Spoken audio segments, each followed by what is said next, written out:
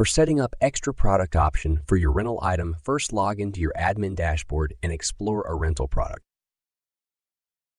In our case, we going apply some extra option to a product using RNB Extra Product Option plugin.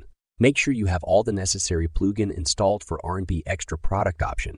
Go to your inventory option from dashboard and click on RNB Extra Fields option. You will find a page to add new field option.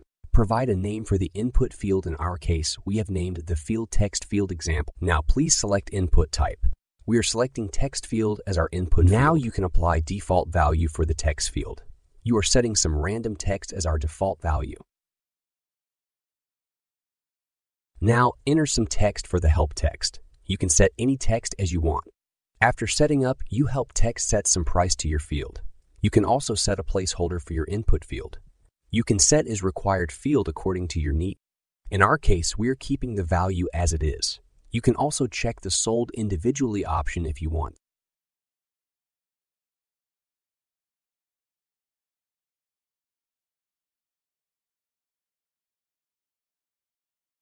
After that, hit Save and your new text field option has been generated.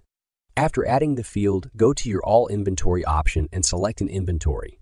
Click on Edit Inventory Find RNB Extra Field Taxonomy box and attach the newly created field to your inventory. After that, hit Update button.